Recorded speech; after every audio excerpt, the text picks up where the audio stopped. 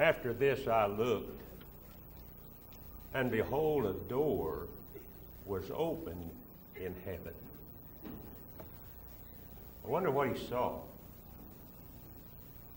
I wonder what it would be like to be there.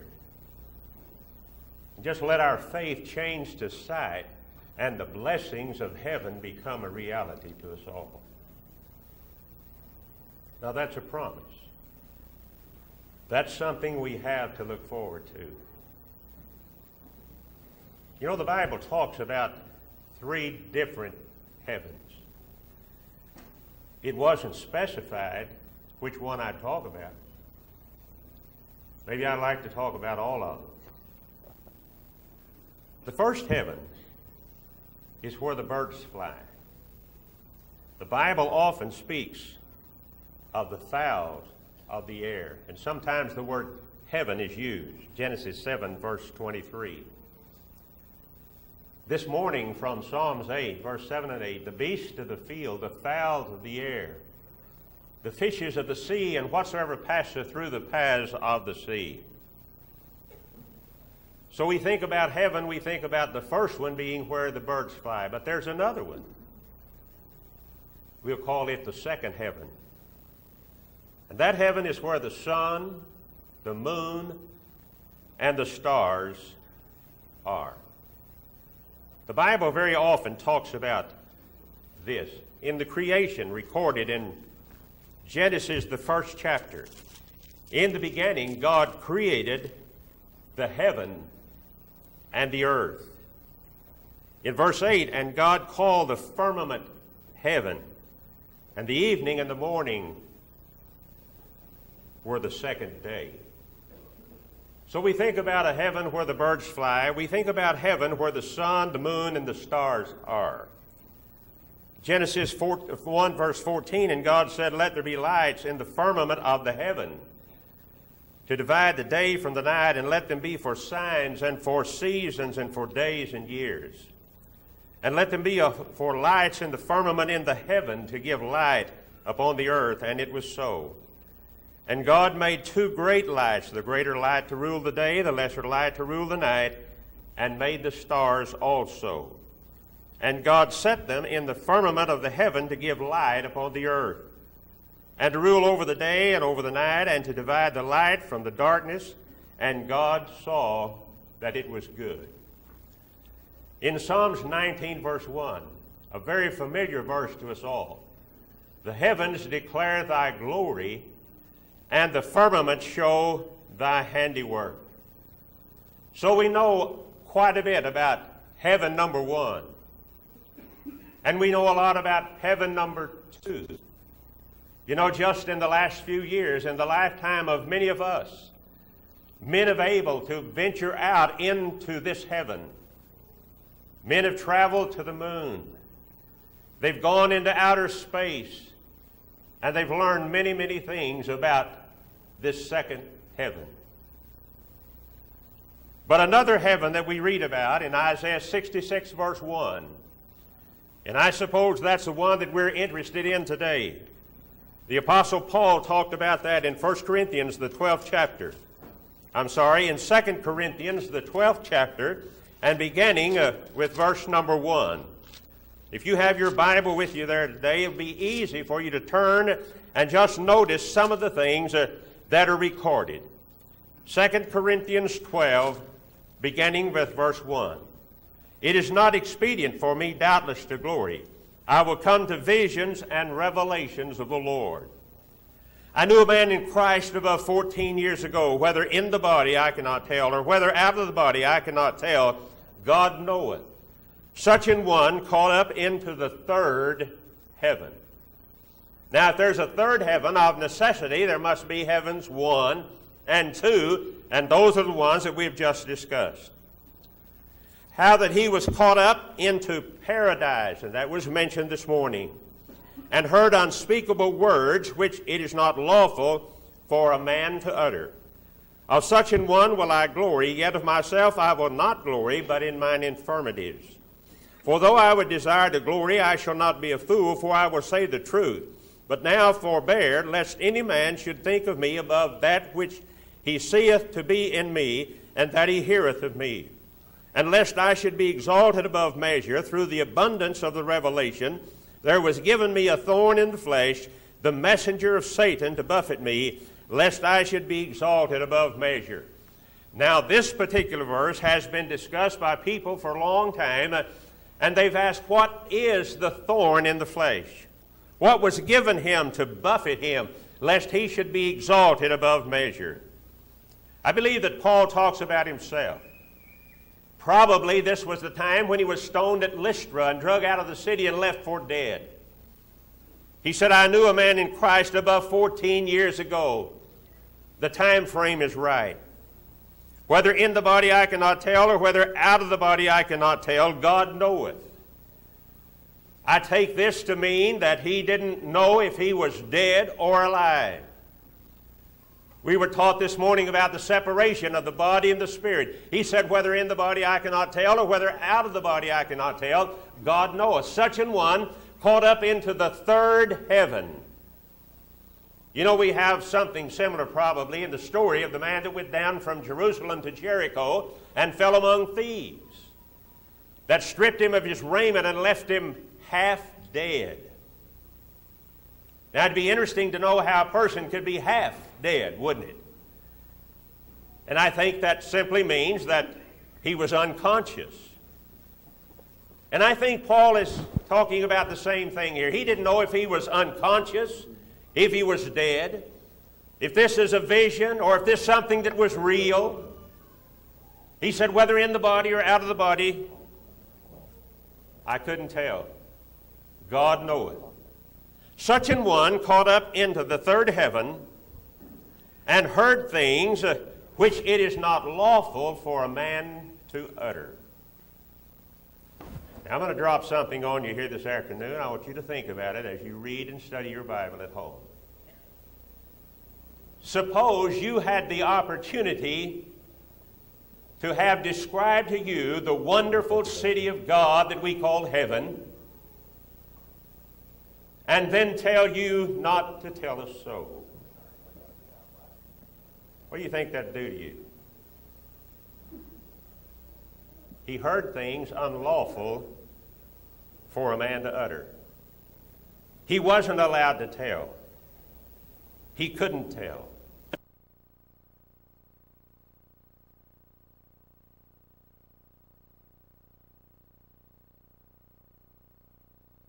He wasn't allowed to tell. He couldn't tell. I think that might be a thorn in the flesh for you and me. Have you ever, I'm sure some of you ladies have had people tell you something and, and it was really, really a good piece of gossip, and then they said, Now don't you tell anybody. And you said, Boy, I wanted to tell that so bad I could taste it.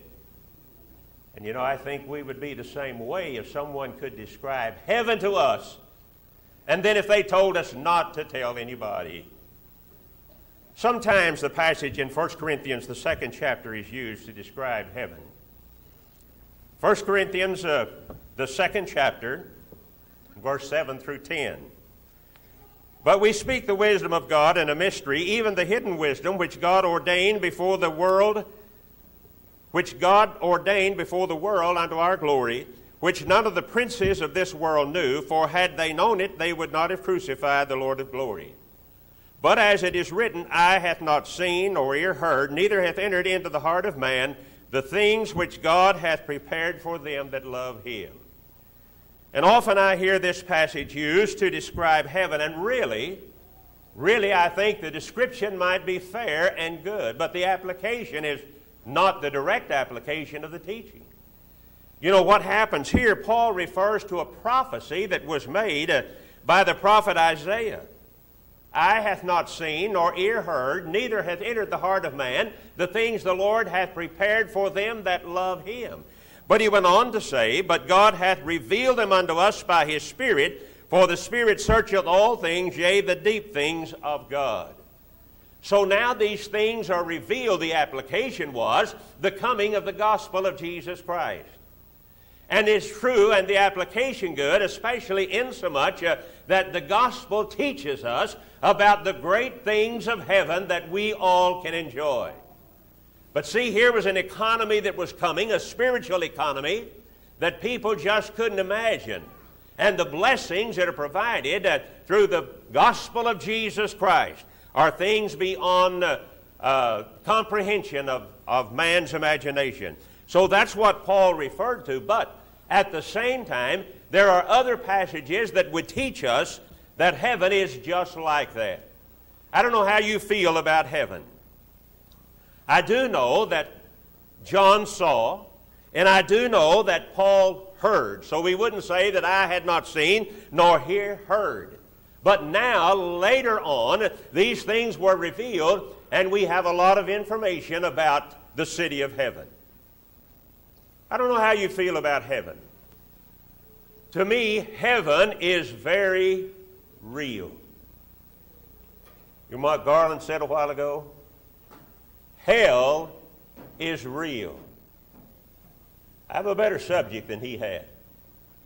And I want to tell you that heaven is very real. I plan to be there. I plan to enjoy the things that God hath prepared for them that love Him. I want to be a part of the city of God. I want to enjoy the blessings that He has provided for us and call them in many different ways. There are a lot of descriptions about heaven. You know, songwriters and publishers have for a long time captured the thoughts and the imaginations of a lot of people. And in their songs, they have written about heaven. We sing the song, When We All Get to Heaven. Now, I have a little pet peeve about some of the books that have changed the wording of this song and it says, when they all get to heaven. And I'm singing it with a pronoun of the third person like it belonged to somebody else. And I don't usually like to sing the song that way. Well, I, am sure there were reasons why they did that, and some of these publishers are very cunning and crafty, and sometimes they have to change some words and do some things, maybe to get around copyright laws. I don't know. But I don't feel like when we sing the song, when we all get to heaven, that that belongs to someone else. I want to sing it with the understanding that I will be a part of that group. And we'll be able to sing and shout the victory. Where the roses never fade, where the soul never dies where we'll never grow old. Are you beginning to get the picture? Wonderful city of God. Won't it be wonderful there? That beautiful home. The Christian's welcome home. The heart shall reap in joy the glory port, the prettiest flowers. Oh, think of the home over there, looking for a city. Life will be sweeter someday. In the home of the soul, I'll meet you in the morning. I'll fly away if we never meet again this side of heaven. I will meet you on that beautiful shore. How beautiful heaven must be. An empty mansion. I don't know how many of you have heard Brother Pat Manning lead this song. An empty mansion. He led a good song last night and did a good job. Pat isn't noted among the brotherhood as being a song leader, as some of the other brethren are, and those who teach rudiments of music and help us all improve our singing. But I love to hear Pat lead this song because when he begins to sing, Here I labor and toil as I look for a home, just an humble abode among men. But in heaven a mansion is waiting for me, and a gentle voice pleading, Come in. Now, if you heard Pat lead that song, you know that it's real to Pat. Now, see what's happened in our songwriters? See how they have described for you and me. And you know, if you don't believe these things about heaven, you need to quit singing these songs. Because when we sing, we need to sing with the Spirit and with the understanding. In 2 Corinthians 5, verse 1, that we've heard today already. For we know that if our earthly house of this tabernacle were dissolved, we have a building of God, and house not made with hands, eternal in the heavens. This is a description of heaven. In John 14, verses 1 to 4, Jesus said, Let not your hearts be troubled. Don't be disturbed. Don't be upset. Don't be restless. Never doubt. You believe in God, believe also in me. In my Father's house are many mansions. If it were not so, I would have told you. I go to prepare a place for you. If I go and prepare a place for you, I will come again and receive you unto myself, that where I am, there you may be also. Do you want to be there? Do you look forward to being there? In Matthew 5, verse 11 and 12, it's styled as a reward. We understand something about rewards. Certain awards and rewards are given in this world for certain accomplishments. But Jesus said, Blessed are you when men shall revile you and persecute you and say all manner of evil against you falsely for my sake. Rejoice and be exceeding glad, for great is your reward in heaven. You think it's worth it? Blessed are ye when men shall revile you and persecute you and say all manner of evil against you falsely for my sake. You know, it's a terrible thing when men persecute and revile and they tell things about us that are not the truth. Sometimes these are hard to take. It's hard to understand why people do that.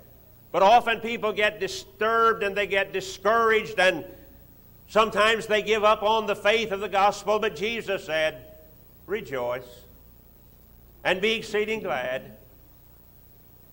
Be happy that you can suffer for the cause of Jesus Christ. Why?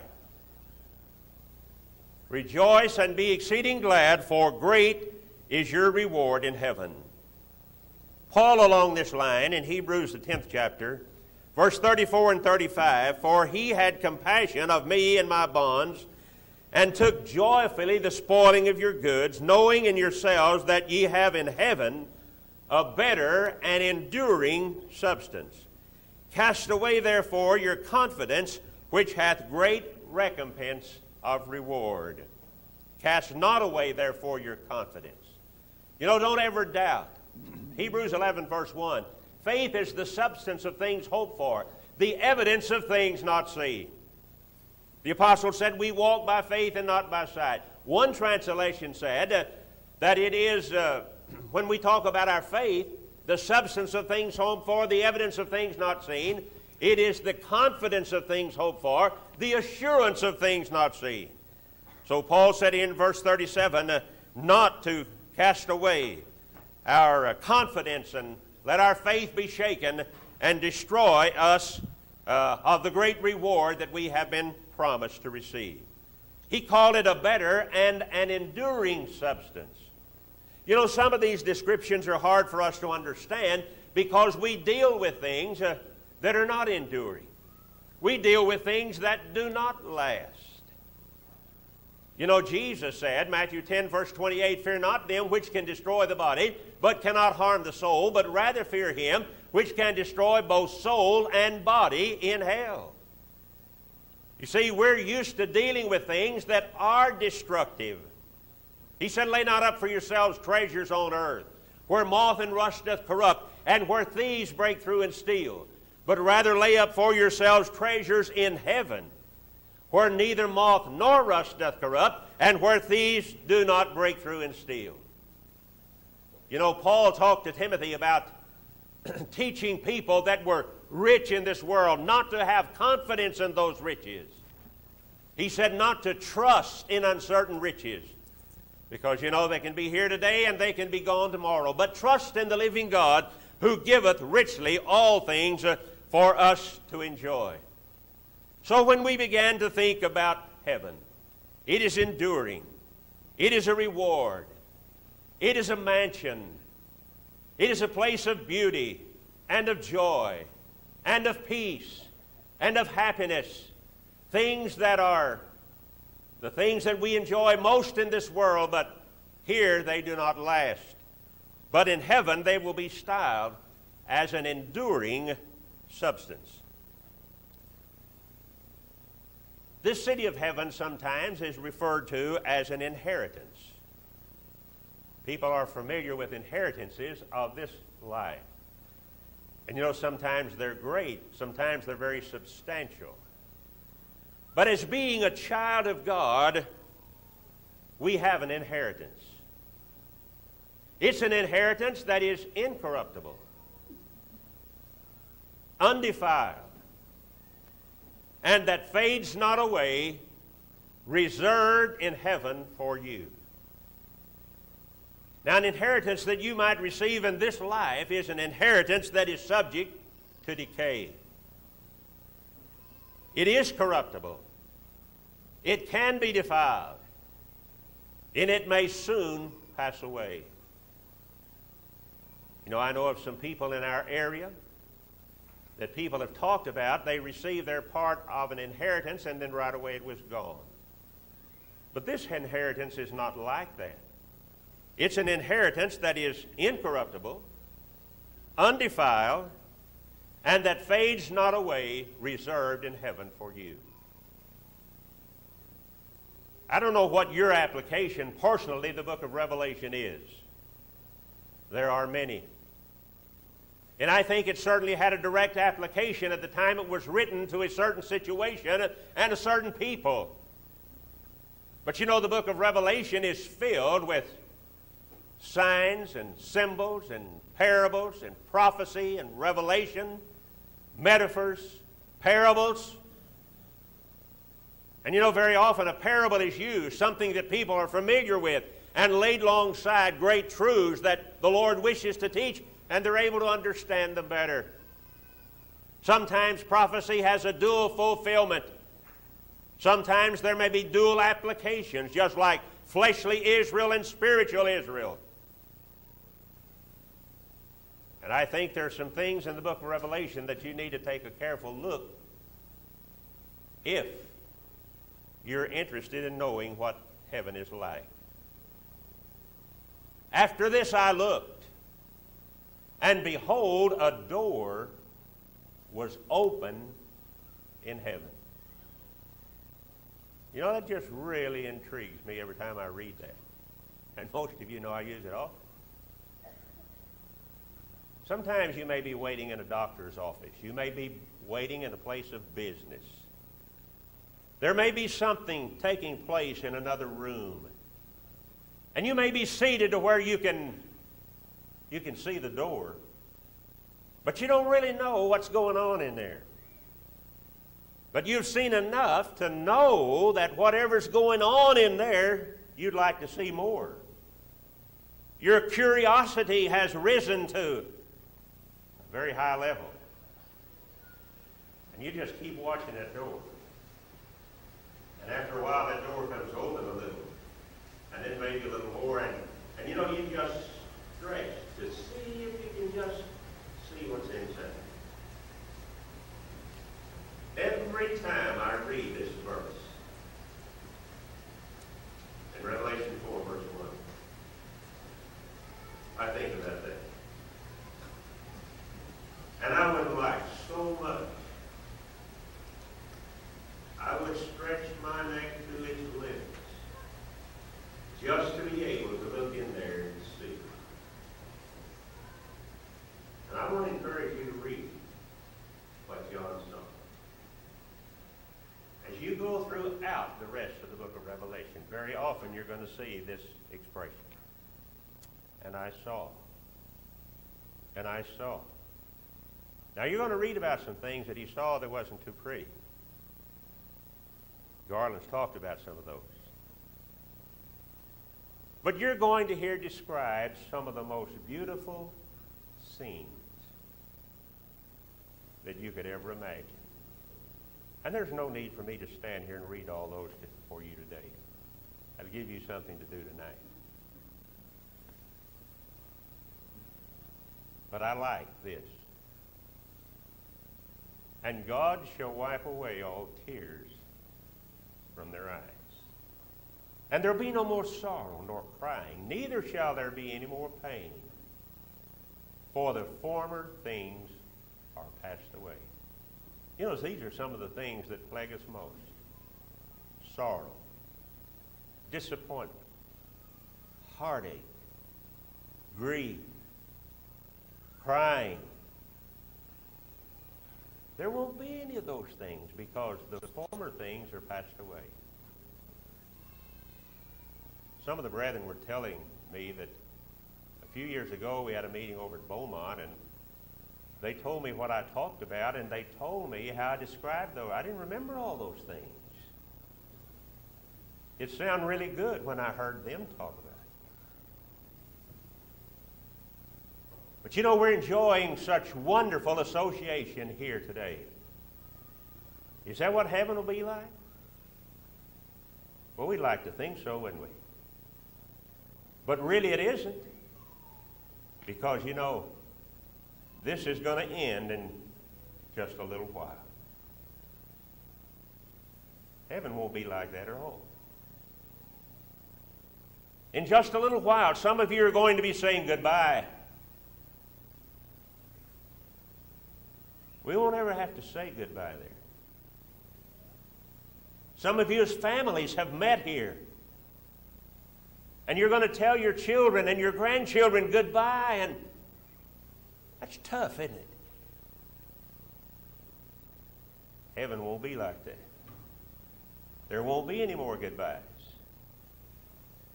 And then some of you are going to cry, especially the girls. And some of you young men, it won't hurt you to cry either. Some of you have made such good friends over the years, many of them at these meetings. And sometimes, about the only time we get to see some of you is at the area meeting. What a joy! What a blessing! But then we have to say goodbye and we cry. Not anything wrong with that. Jesus is our example. And he wept. But heaven won't be like that because there's no sorrow nor crying. Neither shall there be any more pain. You know what brought about all these things? Sin. Separation from God. We used to sing a song, Sin will never enter there. Wouldn't it be great to live in a place where there was no sin?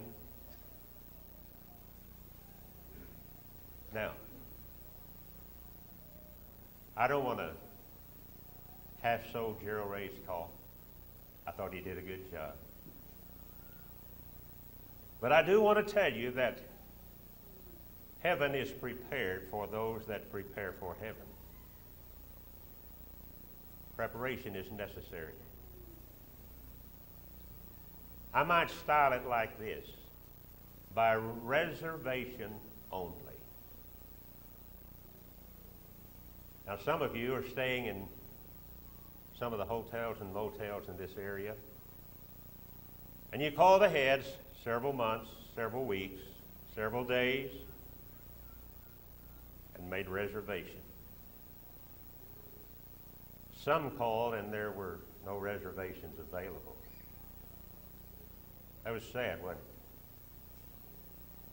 And I want to impress you and leave you with this thought that heaven is by reservation only. The Apostle Peter said in 1 Peter 1, verse 4 To an inheritance that is incorruptible and that fades not away, reserved in heaven for you. How do I make my reservation? Remember, sin cannot enter there,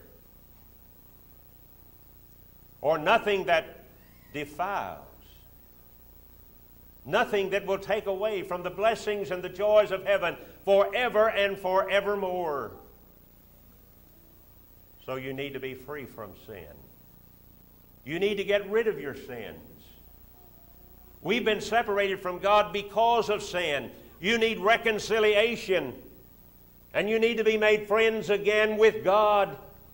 Paul said to wit that God was in the world in Christ, reconciling the world unto himself. You need to accept Jesus Christ. And through obedience to his gospel, your sins can be washed away in the blood of Jesus.